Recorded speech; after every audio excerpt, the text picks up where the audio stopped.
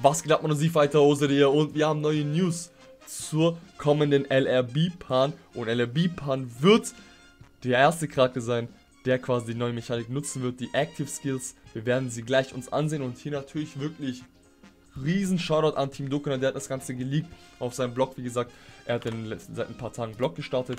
Ist auf Französisch, so ist es nicht. Man kann sich ein bisschen ableiten, allzu schwer ist es nicht, wenn man ein bisschen auf Dokkan unterwegs ist, aber wir gucken uns natürlich mal zur Sicherheit die Übersetzungen an. By the way, Freunde, ich war gerade eigentlich dabei, ein anderes Video zu drehen. Ich wollte heute eigentlich ein anderes, ich sag mal, spezielles Video raushauen.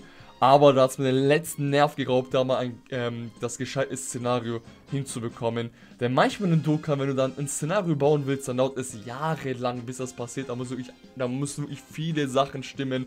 Und dann dachte ich mir, ja, wisst ihr was, dann nehme ich das auf jeden Fall an und präsentiere euch das. Zumal es auch, sage ich mal, wirklich sehr interessante News sind. Aber dieses andere Video wird dann die Tage kommen. Ähm, genau, seid auf jeden Fall drauf gespannt. Jedenfalls, LRB Pan, wissen ja, LRB Pan wird Free-to-Play sein. Aus ihrem Event werden wir sie erhalten zum 4-jährigen Jubiläum. Das Countdown zum 4-jährigen Jubiläum hat heute angefangen auf JP. Ab heute 7 Tage. Und wir bekommen auch zum Login Tickets über die 7 Tage bis zu 35 Tickets, bis zu 10 Stones. Aber das Banner, in dem ich das Ganze noch live aufnehme, also das Ticket-Banner ist noch nicht online. Da warten wir auch noch die Tage drauf. Aber LRB Pan, Freunde, wie gesagt, Team Lucan, was schreibt uns dann? Natürlich hat jetzt quasi jetzt die Information Details zu dem Charakter, wir gucken uns gleich an, was passiert nach seinem Awakening Sets etc. Jedoch wird LR Bipan eine der äh, Karten der neuen Generation, nennt er das, das werden quasi die Karten sein, die dann quasi einen Active Skill haben, zusätzlich, also die neue Mechanik. Wie wird das Ganze bei ihr aussehen? Folgendermaßen, Freunde.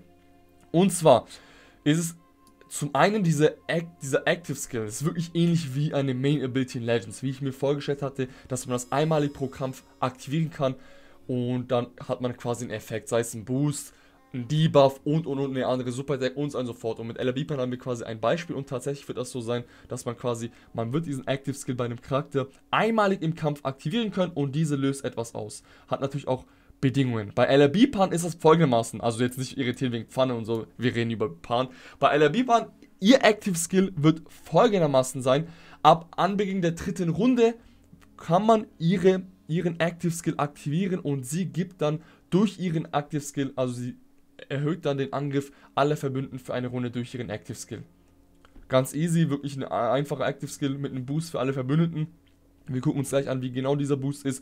Aber ab Anbeginn der dritten Runde kannst du das aktivieren und dann erhöhst du quasi den Angriff aller Verbündeten für eine Runde. Ich finde das gut mit den Active Skills, das ist quasi etwas Neues. Und er sagt auch quasi, dass es in Sachen Gameplay eine neue Tiefe geben könnte. Ich hoffe aber, dass auch weitere neue Events kommen, in denen man quasi sich auf die Tiefe zurückgreifen muss, sage ich mal, also in Sachen Schwierigkeit. Ähm, zudem fügt er noch hinzu, PS, Bipan ist eine der ersten Charaktere, also ihre L-Version, für die mehrere Stimmen angelegt wurden in den Daten, sage ich mal. Also Voices sollen ja auch noch hinzukommen, da bin ich auf jeden Fall drauf gespannt.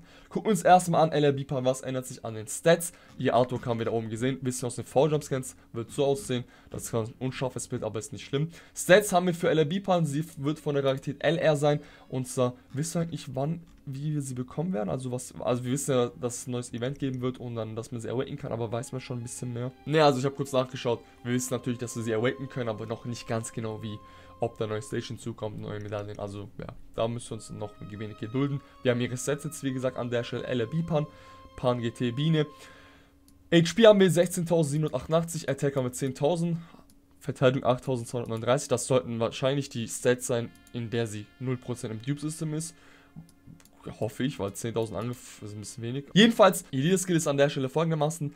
3.333 HP hielt sich jeder Charakter an Key desselben Typus, den er einsammelt. Nehmen wir mal an, B-Pan ist vom Strength-Type. Wenn B-Pan unter B-Pan Stealer Skill sie ein Strength-Orb einsammelt, hielt sich an diesem Strength-Orb um 3333 HP. Und wenn zum Beispiel jetzt ein Tech-Charakter ein Tech-Orb einsammelt, dann macht er das auch. So ist der Leader-Skill. Super Attack ist folgendermaßen, mit der 12 Key macht sie Colossal Damage und kann den Gegner betäuben. Sollte eine Rare Chance sein mit der Ultra Super Attack macht sie Mega Colossal Damage und hat eine Medium Chance, sollte das sein, den Gegner zu stunnen. Jetzt ihre aktive Fähigkeit, das ist das Neue, ist auch in Rot hier. Sie gibt, wie gesagt, nach drei Runden kann sie einmalig ihren Active Skill aktivieren und dann gibt sie jedem Verbündeten auf den Angriff 33% für eine Runde. So funktioniert ihre aktive Fähigkeit, ihr Active Skill. Und ihre Passive wird folgendermaßen funktionieren. Sie hielt sich an 33% Schaden, den sie, äh, den sie verrichtet gar nicht mal so schlecht, zumal es in LR, sie wird wahrscheinlich gut durchschnittlichen Schaden machen. Und sie hat eine High Chance, eine Damage Reduction zu bekommen von 55%. Link-Skills bleiben gleich wie von der Vorversion. Was sich ändert, ist, dass Legendary Power Modern Meets CI auflöst. Heißt, wir haben dann All in the Family, Saint Dinish, Battlefield Tiva, GT, Innocence, Legendary Power und Shattering Limit, Freunde. So viel auch zu Bipan, LR Bipan. Lasst mich gerne wissen, was haltet ihr von ihr? Was haltet ihr von dem Active Skill? Denn das ist quasi die Zukunft, sag ich mal. Also viele neue Charaktere, Charaktere der neuen Generation, hat der Team Lucan das genannt, werden diese Active Skill bekommen. Ich bin auf jeden Fall drauf gespannt, was da abgeht. Aber es ist tatsächlich so, wie ich es mir vorstellen konnte. Ab irgendeiner Bedingung, einmalig pro Kampf, kann man diesen Active Skill bei einem Charakter aktivieren und dieser Charakter tut dann irgendwas machen. Sei es, wie gesagt, Buffen, Debuffen, Super Attack neue und und und. Bei Bipan ist es 33% für eine Runde für alle Verbündeten, einmalig pro Kampf. Nach Anbeginn der dritten Runde kann sie das aktivieren. Ich finde es auf jeden Fall eine schöne Mechanik. Ich finde es cool, dass sie das eingefügt haben. Ich bin auf jeden Fall drauf gespannt, was wir die Tage noch bekommen werden. Ich hoffe, das Ganze hat euch dementsprechend gefallen. Kurzes, informatives Video, aber ich wollte auf jeden Fall euch wissen lassen, zumal sie quasi der erste Charakter sein wird mit dem Active Skill. Wenn euch das Ganze gefallen hat, lasst den Ganzen auf jeden Fall Like. Ich bedanke mich fürs Zusehen. Ich setze mal wieder an das andere Video, Video ran und ja, wir sehen uns das nächste Mal. Macht's gut. Peace. When I pull up at your girl, mommy wanna be my world. You a man, bro? don't you cry. I'ma get her back after I'm done, I'm done. Next time you ain't won't be around.